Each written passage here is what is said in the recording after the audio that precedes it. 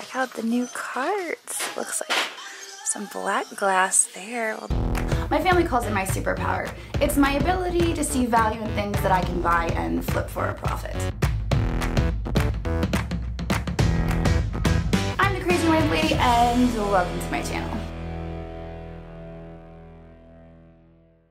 Well, I was on my way home from Lancaster and decided that I would stop in here at the Goodwill on the way home and see what we can find that we can buy and flip for a profit. So here we go. Okay, well, there's not a whole lot on the shelves. I don't know if maybe they've been doing some cleansing of the shelves. That's a little frightening. but we'll give it our best shot. I started with the brown today because brown is kind of my favorite. Oh, I see some art pottery on the other side. Let's go check it out. Right. We got some taper candles.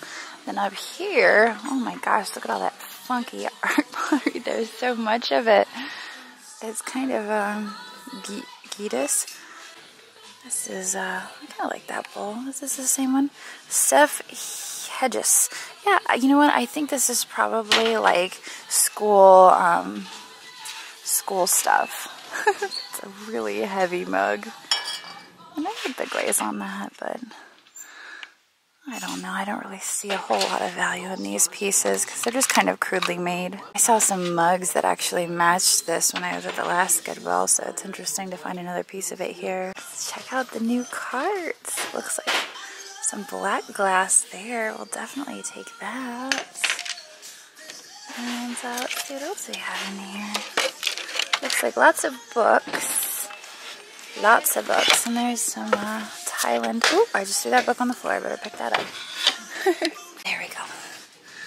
Alright. Santa Claus down there. A little uh, foosball table. Alright, let's check the other one. Okay, well, let's dig through here. Um, that's kind of a nice butter dish. Is it Waterford? Hmm. See any markings on that. Sometimes the water Waterford is very faint and hard to make out, but I don't think it's on there. I'm going to stick this artwork down here to go through the cart.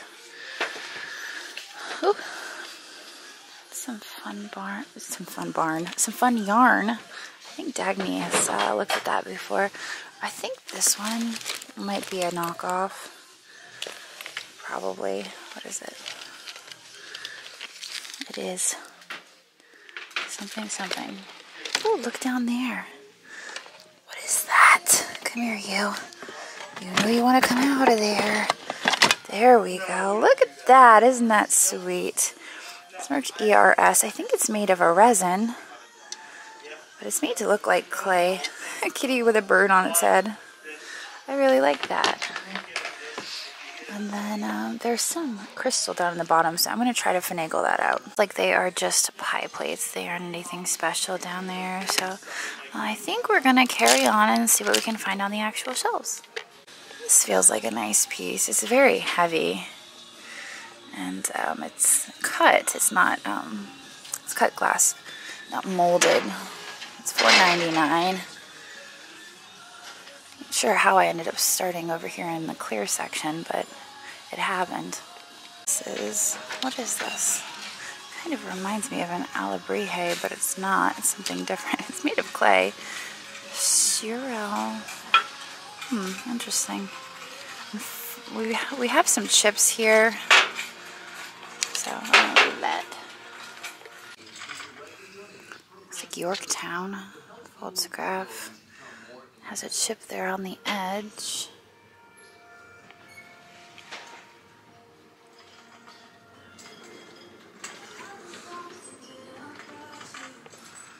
A patriotic looking mug. Liberty Pottery, Ohio 2006, Sarah. Oh, it's a rocky, I don't know where that is, so it would be weird for me to buy the mug and not know where that is. This looks like it belonged with the other pieces. It says SP13 on it. So that was probably with all of the other art pottery pieces and somehow migrated here to this section. He is made from foam.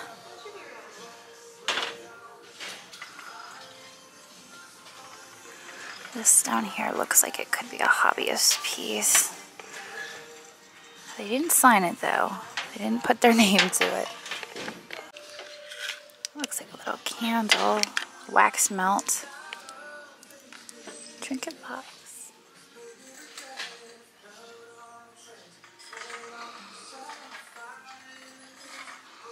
Looks like their Christmas is slowly disappearing. This is a sweet little mug. That is a Rae Dunn mug for $1.99. I love the little scene on there with them roasting marshmallows. Uh, you know, this is probably worth like 8 8 to 12 unless it's a special Rae Dunn, but so a lot of the generic stuff, that's what it sells for. Uh, this, I also pulled out of the bin for $1.99. I missed it the first time I went through. This is a sweet little um, folk art looking piece. I'm surprised there's hardly anyone here, but at the same time, there's not a whole lot to be found, so I don't know though, they are restocking. I like this little mug, but there is a chip on the edge and it's just a single. If there was more, I'd probably consider it. Here's a sweet little piggy there. I'm not sure who makes that, but they've got $2.99 on it. You see there is a bit of a hairline crack there. So unfortunately, I'll probably leave him behind. When I look at him, I see 8 to $12. But if he's a special brand that I don't know of, um, maybe he's Shawnee or something, he could be worth a little bit more. When I look at things, I just generalize like, oh, this is a planter and this is the average selling price of a planter. And then I try to incorporate who's, who it's made by or what brand it is. And sometimes it can go one way or the other. Okay. That little bowl is reverse painted. It's not actually blue. And, uh, looks like Niagara Falls. I have, Let's look at it upside down and see what it is. Looks like it could be a Starbucks. No, it's a Dunkin' Donuts mug. I didn't know Dunkin' Donuts made mugs like this. Interesting. I guess they kind of uh, either they copied Starbucks or Starbucks copied them. It probably went one way or the other. I was kind of hoping to find some vintage Valentine's Day here in the red section, but I don't think it's going to happen. I actually just pulled one of these off the third floor. It was pretty dusty, but...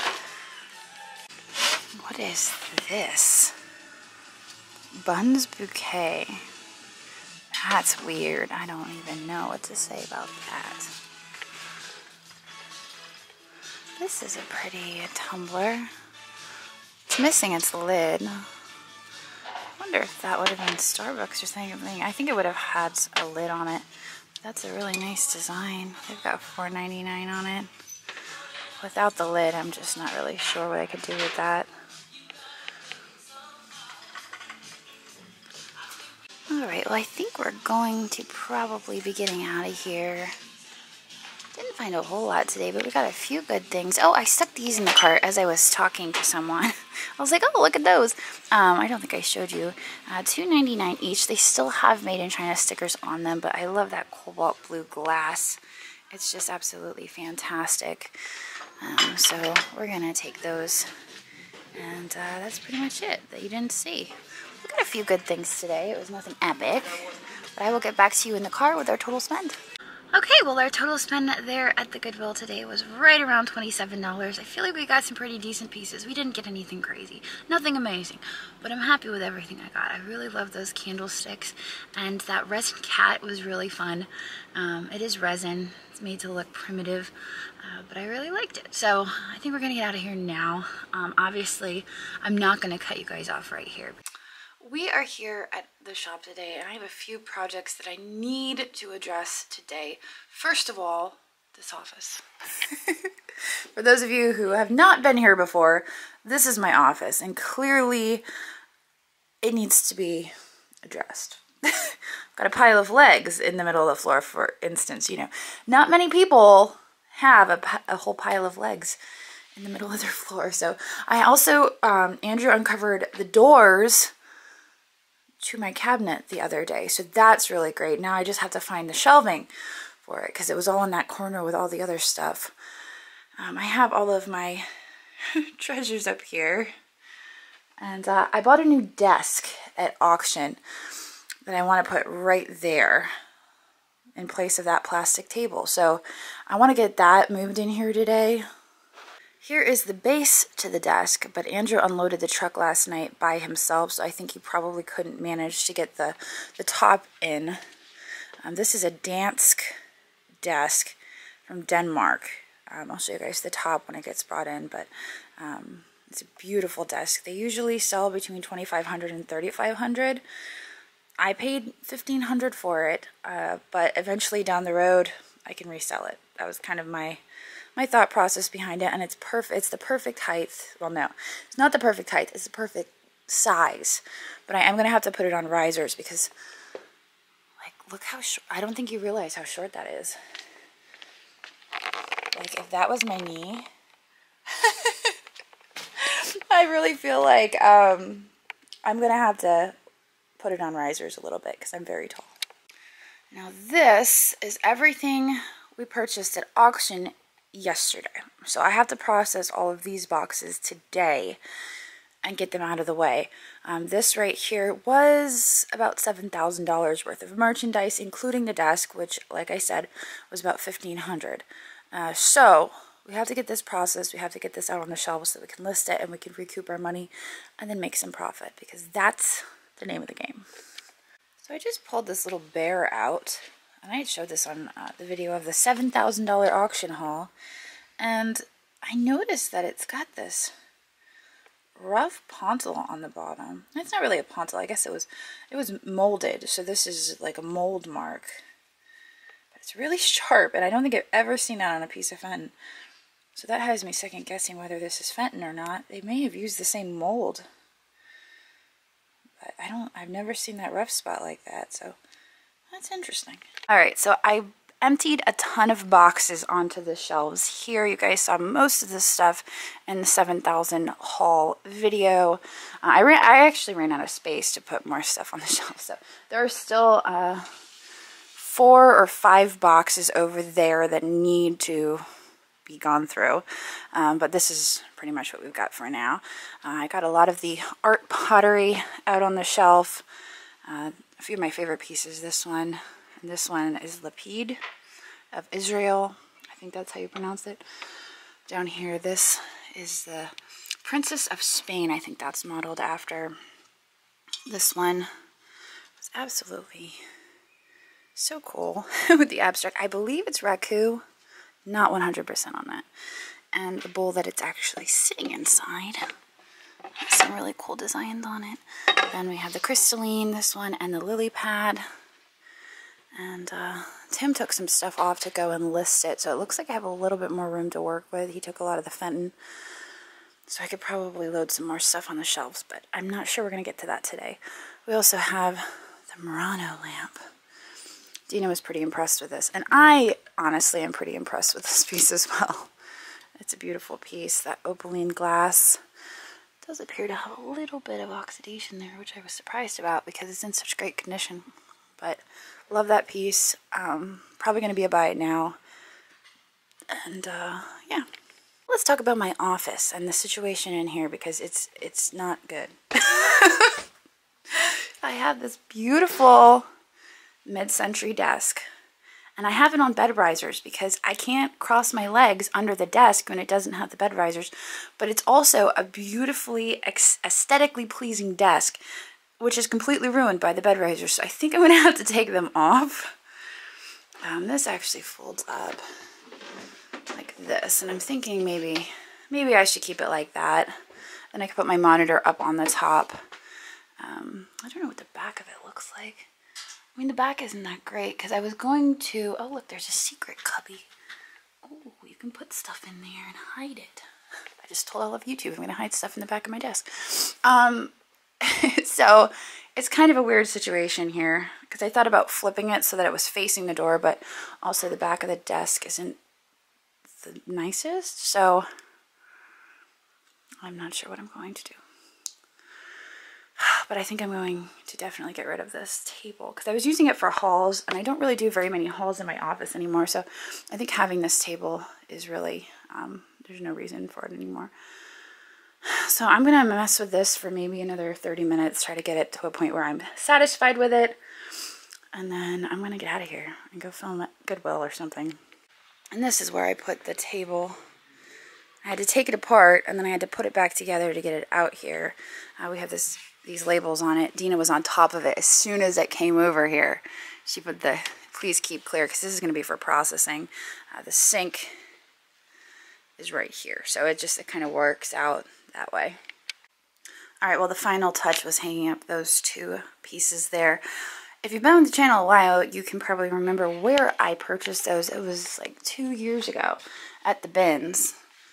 And I actually bought the artwork separate, and then I found the frames, and they just happened to fit. Um, so my, my dad put them together for me, and uh, they've been sitting here at the shop. So that's what that is. And I finally got them up on the wall. Okay, well, this is the finished look. I feel like I got a lot accomplished today.